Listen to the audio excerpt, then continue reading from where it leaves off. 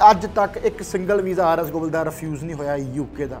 Yes ਜਿਹੜਾ student 18 ਸਾਲ ਤੋਂ ਲਗਭਗ 35 40 ਸਾਲ ਤੱਕ ਦੀ ਉਮਰ ਦਾ ਹੈ 12ਵੀਂ ਪਾਸ ਹੈ ਜਾਂ ਗ੍ਰੈਜੂਏਸ਼ਨ ਕੀਤੀ ਹੈ, ਪੜ੍ਹਾਈ 'ਚ 10 12 15 ਸਾਲ ਦਾ ਗੈਪ ਪੈ ਗਿਆ ਆਇਲਟਸ ਨਹੀਂ ਕੀਤਾ, ਉਹ ਵੀ ਬੱਚਾ ਯੂਕੇ ਪੜਨ ਜਾ ਸਕਦਾ ਬਟ ਸ਼ਾਰਟ ਟਰਮ ਵੀਜ਼ੇ ਉੱਤੇ, ਕੇਵਲ 6 ਮਹੀਨੇ ਦੇ ਵੀਜ਼ੇ ਉੱਤੇ।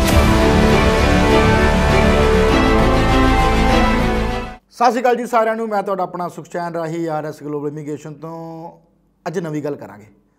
ਧਿਆਨ ਨਾਲ ਜੁੜੇ ਰਹਿਣਾ 5-10 ਮਿੰਟ ਇਸ ਵੀਡੀਓ ਦੇ ਨਾਲ। ਅੱਜ ਯੂਕੇ ਵਿਦਆਊਟ ਆਇਲਸ ਦੀ ਗੱਲ ਕਰਾਂਗੇ। ਔਰ ਵਿਦਆਊਟ ਆਇਲਸ ਦੇ ਨਾਂ ਤੇ ਇੱਕਦਮ ਮੇਰੇ ਵਰਗੇ ਬੰਦੇ ਦੇ ਕੰਨ ਖੜੇ ਹੋ ਜਾਂਦੇ ਆ ਕਿ ਅੱਜ ਨਵੀਂ ਗੱਲ ਹੋਣ ਲੱਗੀ ਹੈ। ਯੈਸ ਬਿਲਕੁਲ ਸਹੀ ਸੁਣਿਆ ਤੁਸੀਂ। ਸਹੀ ਸੁਣ ਰਹੇ ਹੋ ਵਿਦਆਊਟ ਆਇਲਸ ਜਾਣ ਵਾਲੇ ਸਟੂਡੈਂਟ ਦੀ ਗੱਲ ਕਰਾਂਗੇ ਯੂਕੇ ਬਾਰੇ ਗੱਲ ਕਰਾਂਗੇ। ਬਟ ਅਗਲੇ 5 ਮਿੰਟ ਜਰਾ ਧਿਆਨ ਨਾਲ ਇਸ ਵੀਡੀਓ ਵਾਲੇ ਪਾਸੇ ਧਿਆਨ ਦੇਣਾ। ਚੰਗੀ ਲੱਗੇ ਤਾਂ ਸ਼ੇਅਰ ਕਰਨਾ, ਆਪਦੇ ਸੁਝਾਅ ਸਾਨੂੰ ਭੇਜ ਦੇਣਾ।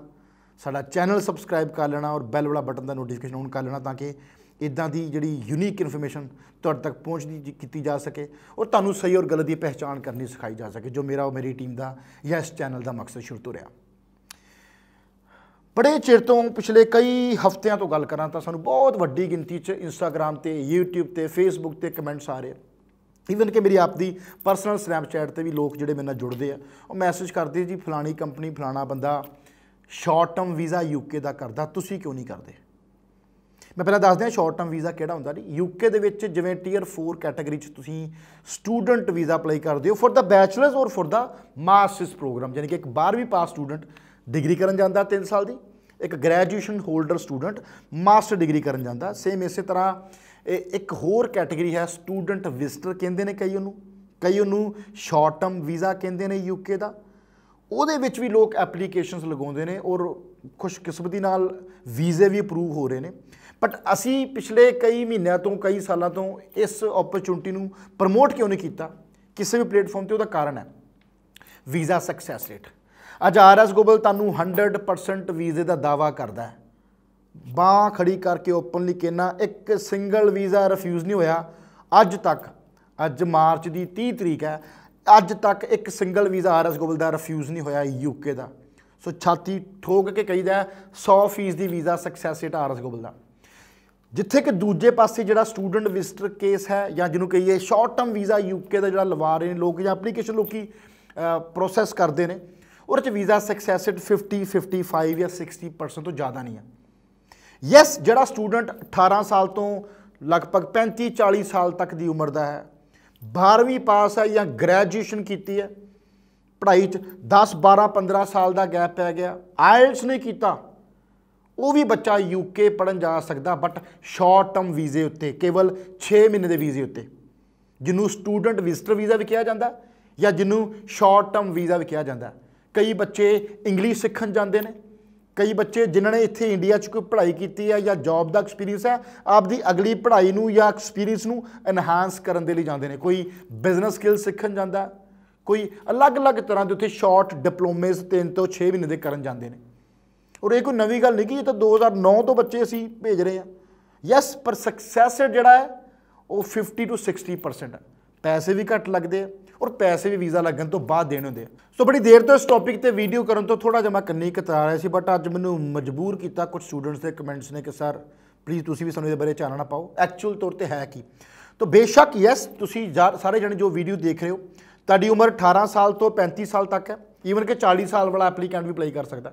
ਤੁਸੀਂ ਘੱਟੋ ਘੱਟ 12ਵੀਂ ਜਾਂ ਗ੍ਰੈਜੂਏਸ਼ਨ ਪਾਸ ਕੀਤੀ ਹੈ। ਤੁਹਾਡੇ 50% ਨੰਬਰ ਓਵਰਆਲ ਤੁਹਾਡੀ ਲਾਸਟ ਕੁਆਲੀਫਿਕੇਸ਼ਨ ਚੋਂ ਹੈਗੇ ਨੇ।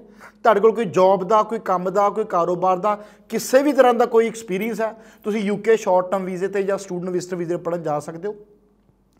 ਅਲੱਗ-ਅਲੱਗ ਕੋਰਸਸ ਤਕਰੀਬਨ 150 150 ਤਰ੍ਹਾਂ ਦੇ ਕੋਰਸਸ ਅਲੱਗ-ਅਲੱਗ ਉੱਥੇ ਅਵੇਲੇਬਲ ਆ। ਤੁਸੀਂ ਉਹ ਪ੍ਰੋਗਰਾਮ 3 ਤੋਂ ਲੈ ਕੇ 6 ਮਹੀਨੇ ਤੱਕ ਦਾ ਕੰਪਲੀਟ ਕਰ ਸਕਦੇ ਹੋ। ਬੜੀ ਥੋੜੀ ਜੀ ਫੀਸ ਹੁੰਦੀ ਹੈ ਔਰ ਪੈਸੇ ਵੀ ਲਗਭਗ ਮਤਲਬ 90% ਕਮਾ ਪੈਸੇ ਸਾਰੇ ਵੀਜ਼ਾ ਲੱਗਣ ਤੋਂ ਬਾਅਦ ਜਾਂਦੇ ਨੇ। ਕੁਝ ਆਫਰੇਟ ਦੀ ਫੀਸ ਜਾਂ ਐਮਬੈਸੀ ਫੀਸ ਜਾਂ ਅਸੈਪਟੈਂਸ ਦੀ ਫੀਸ ਪੇ ਕਰਨੀ ਆ। ਉਹ ਖਰਚਾ ਤੁਹਾਡਾ ਜਿਹੜਾ ਹੈਗਾ, ਉਹ 7 ਲੱਖ ਤੋਂ ਲੈ ਕੇ 8 8.5 9 ਲੱਖ ਤੋਂ ਉੱਪਰ ਜ਼ਿਆਦਾ ਤੁਹਾਡਾ ਨਹੀਂ ਆਉਂਦਾ। ਸੋ 6 6.5 ਲੱਖ ਤੋਂ ਸ਼ੁਰੂ ਹੋ ਜਾਂਦੀ ਹੈ। ਡਿਪੈਂਡ ਅਪਨ ਫੀਸ ਕਿੰਨੇ ਕੁ ਦੀ ਹੈ। ਉਹ 7-8 ਲੱਖ ਤੱਕ ਤੁਹਾਡਾ ਸਾਰਾ ਕੰਮ ਨਿਬੜ ਜਾਂਦਾ ਇਨਕਲੂਡਿੰਗ ਐਵਰੀਥਿੰਗ ਟਿਕਟ ਟੁਕਟ ਪਾ ਕੇ। ਸੋ ਅਗਰ ਸ਼ਾਰਟ ਟਰਮ ਵੀਜ਼ਾ ਆਪਦਾ ਅਪਲਾਈ ਕਰਨਾ ਚਾਹੁੰਦੇ ਹੋ ਪੈਸੇ ਵੀਜ਼ਾ ਲੱਗਣ ਤੋਂ ਬਾਅਦ ਦੇਣਾ ਚਾਹੁੰਦੇ ਹੋ, ਪੜ੍ਹਾਈ 'ਚ 10-12 ਸਾਲ ਦਾ ਗੈਪ ਪੈ ਚੁੱਕਾ ਆਇਲਸ ਨਹੀਂ ਕੀਤਾ ਯੂਕੇ ਜਾਣਾ ਚਾਹੁੰਦੇ ਹੋ। ਤਾਂ ਆਰਐਸ ਗਲੋਬਲ ਦੀ ਟੀਮ ਨਾਲ ਸੰਪਰਕ ਕੀਤਾ ਜਾ ਸਕਦਾ ਦੋਸਤੋ, ਮੋਹਾਲੀ, ਬਠਿੰਡਾ, ਜਲੰਧਰ ਜਾਂ ਅੰਮ੍ਰਿਤਸਰ। ਠੀਕ ਆ, ਅਸੀਂ ਪ੍ਰਮੋਟ ਨਹੀਂ ਕਰਦੇ ਕਿਉਂਕਿ ਸਾਡਾ ਸਕਸੈਸ ਰੇਟ 100% ਉਹਦੇ ਚ ਨਹੀਂ ਬਣ ਸਕਦਾ, ਜੋ ਆਪਸ਼ਨ ਅੱਜ ਬੋਲੀ ਹੈ। ਬਟ ਓਪਨਲੀ ਇਸ ਮੰਚ ਤੇ ਮੇਰਾ ਬੋਲਣ ਦਾ ਮਕਸਦ ਇਹ ਸੀ ਕਿ ਐਟਲੀਸਟ ਜੇ ਤੁਸੀਂ ਇਹ ਵਾਲੀ ਐਪਲੀਕੇਸ਼ਨ ਸਾਡੇ ਕੋਲ ਦਰਜ ਕਰਦੇ ਵੀ ਹੋ ਕੱਲ ਨੂੰ ਵੀਜ਼ਾ ਰਿਫਿਊਜ਼ ਵੀ ਹੁੰਦਾ, ਤਾਂ ਮਨ ਚ ਕੋਈ ਇਸ ਤਰ੍ਹਾਂ ਦਾ ਅਫਸੋਸ ਨਹੀਂ ਹੋਏਗਾ ਕਿ ਸੁਖਸੈਨ ਰਾਹੀਂ ਨੇ ਦੱਸਿਆ ਨਹੀਂ ਸੀ ਪਹਿਲਾਂ। ਯੈਸ ਐਪਲੀਕੇਸ਼ਨ ਪ੍ਰੋਸੈਸ ਕੀਤੀ ਜਾ ਸਕਦੀ ਹੈ, ਪੈਸੇ ਬਾਅਦ ਚ ਦੇਣੇ ਆ। ਅਗਰ ਵੀਜ਼ਾ ਰਿਫਿਊਜ਼ ਹੁੰਦਾ ਤਾਂ ਜਿਹੜਾ ਐਮਬੈਸੀ ਫੀਸ ਦਾ ਨੁਕਸਾਨ ਪਾ ਕੇ 20 25000 ਰੁਪਏ ਦਾ ਨੁਕਸਾਨ ਤੁਹਾਡਾ ਜ਼ਰੂਰ ਹੋਏਗਾ। ਸੋ ਅਗਰ ਇੰਨਾ ਕੁ ਜਿਗਰਾ ਲੈਣ ਦੇ ਕਾਬਲ ਹੋ, ਵੀਜ਼ਾ ਘੱਟ ਪੈਸੇ 'ਚ ਜਾਂ ਬਾਅਦ ਚ ਪੈਸੇ ਦੇ ਨਹੀਂ ਲੈਣਾ ਚਾਹੁੰਦੇ ਹੋ, ਤਾਂ ਸ਼ਾਰਟ ਟਰਮ ਵੀਜ਼ਾ ਜ਼ਰੂਰ ਅਪਲਾਈ ਕੀਤਾ ਜਾ ਸਕਦਾ। ਅਗਲੀ ਵੀਡੀਓ 'ਚ ਡਿਟੇਲ 'ਚ ਸਮਝਾਉਣ ਦੀ ਕੋਸ਼ਿਸ਼ ਕਰਾਂਗੇ ਕਿਹੜੇ ਕਿਹੜੇ ਪ੍ਰੋਗਰਾਮ ਕਿਹੜੇ ਕਿਹੜੇ ਸ਼ਹਿਰ 'ਚ ਅਵੇਲੇਬਲ ਹੈ ਐਂਡ ਆਪਣਾ ਵੀਜ਼ਾ ਸਕਸੈਸ ਰੇਟ ਵਧਾਇਆ ਕਿਵੇਂ ਜਾ ਸਕਦਾ? ਕਿਉਂਕਿ ਬਹੁਤ ਸਾਰੀ ਰਿਸਰਚ ਨਿਕਲ ਕੇ ਬਾਹਰ ਆਈ ਹੈ ਕਿ ਇਸ ਵੀਜ਼ੇ ਵਿੱਚ ਸਕਸੈਸ ਰੇਟ ਕਿਵੇਂ ਵਧਾਇਆ ਜਾ ਸਕਦਾ। ਤੋ ਯੂਕੇ ਪੜ੍ਹਨਾ ਚਾਹੁੰਦੇ ਹੋ, ਪੜ੍ਹਾਈ 'ਚ 10-15 ਸਾਲ ਦਾ ਗੈਪ ਹੈ। 50% ਤੁਹਾਡੇ ਨੰਬਰ ਆ 12ਵੀਂ ਜਾਂ ਗ੍ਰੈਜੂਏਸ਼ਨ ਪਾਸ ਕੀਤੀ ਹੈ। ਤੇ ਇਸ ਆਪਸ਼ਨ ਦੀ ਅਵੇਲੇਬਿਲਟੀ ਲਈ ਜਾ ਸਕਦੀ ਆਰਐਸ ਗਲੋਬਲ ਦੀ ਟੀਮ ਦੀ ਮਦਦ ਨਾਲ। ਐਂਡ ਉਮੀਦ ਕਰਦਾ ਦਾਵਾ ਕਰਦਾ, ਬਾਕੀਆਂ ਦੇ ਨਾਲੋਂ ਜ਼ਿਆਦਾ ਸਕਸੈਸ ਜੂ ਮਿਲੇਗਾ, ਕਿਉਂਕਿ ਆਰਐਸ ਗਲੋਬਲ ਕੋਲ ਪਿਛਲੇ ਲਗਭਗ 14-15 ਸਾਲ ਦਾ ਯੂਕੇ ਦਾ ਐਕਸਪੀਰੀਅੰਸ ਹੀ ਹੈ। ਸੋ ਇਸ ਆਪਸ਼ਨ ਨੂੰ ਵੇਲ ਕਰਨਾ ਚਾਹੁੰਦੇ ਹੋ, ਸਾਡੀ ਹੇਠਾਂ ਦਿੱਤੇ ਨੰਬਰ ਤੇ ਜੋ ਹੈਲਪਲਾਈਨ ਨੰਬਰ ਹੈ 70509 70500 ਇਸ ਤੇ ਕਾਲ ਕਰਕੇ ਮੇਰੇ ਨਾਲ ਜਾਂ ਮੇਰੀ ਟੀਮ ਮੈਂਬਰ ਨਾਲ ਮਿਲ ਕੇ ਅਪਾਇੰਟਮੈਂਟ ਲੈ ਕੇ ਸਲਾਹ ਮਸ਼ਵਰਾ ਕਰੋ, ਉਸ ਤੋਂ ਬਾਅਦ ਆਪਦੀ ਐਪਲੀਕੇਸ਼ਨ ਦਰਜ ਕਰਨਾ ਚਾਹੁੰਦੇ ਹੋ ਜਾਂ ਨਹੀਂ ਕਰਨਾ ਚਾਹੁੰਦੇ, ਤੁਹਾਡਾ ਆਪਣਾ ਫੈਸਲਾ। ਬਟ ਇਹ ਗੱਲ ਦੱਸਦੇ ਆ ਇਹ ਵੀਜ਼ਾ ਅੱਜ ਦਾ ਨਹੀਂ ਚੱਲਦਾ, ਬੜੀ ਦੇਰ ਤੋਂ ਚੱਲਦਾ ਆ ਰਿਹਾ ਔਰ ਅੱਗੇ ਵੀ ਚੱਲਦਾ ਰਹੇਗਾ, ਕਾਨੂੰਨ ਬਦਲਦੇ ਰਹਿਣਗੇ ਪਾਲਿਸੀਜ਼ ਚੇਂਜ ਹੁੰਦੀਆਂ ਰਹਿਣਗੀਆਂ ਬਟ ਇਹ ਆਪਸ਼ਨ ਹਮੇਸ਼ਾ ਅਵੇਲੇਬਲ ਰਹੇਗੀ। ਸੋ ਤੁਸੀਂ ਅਗਰ ਆਪਸ਼ਨ ਅਵੇਲ ਕਰਨਾ ਚਾਹੁੰਦੇ ਹੋ, ਮੇਰੇ ਨਾਲ ਮੇਰੀ ਟੀਮ ਨਾਲ ਮਿਲ ਸਕਦੇ ਹੋ। ਅਗਲੀ ਵੀਡੀਓ ਲੈ ਕੇ ਇੱਕ ਨਵੇਂ ਟੌਪਿਕ ਤੇ ਫਿਰ ਤੁਹਾਡੇ ਰੂਬਰੂ ਹਾਜ਼ਰ ਹੋਊਂਗਾ। ਤਦ ਤੱਕ ਜਿਉਂਦੇ ਵਾਸਤੇ ਰੱਬ ਰੱਖਾ। ਸਤਿ ਸ਼੍ਰੀ ਅਕਾਲ।